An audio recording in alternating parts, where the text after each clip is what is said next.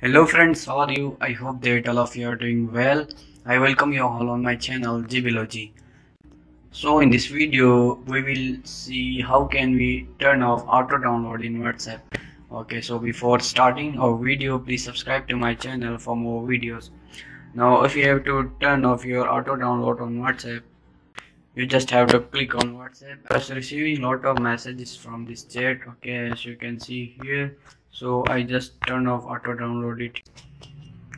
So for turning off auto download in whatsapp you just have to click on these three dots here at the right top corner. And from here you just have to select settings.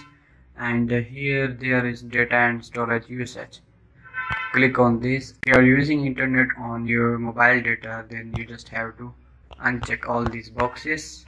Okay and uh, if you are using your internet on uh, Wi-Fi then you just have to uncheck all these boxes. Okay so you are all set and uh, if you uh, click on this chat my auto download has been turned off. Okay so more messages will not be downloaded automatically in my whatsapp okay so i hope you have liked this video. Please subscribe to my channel for more videos. Thank you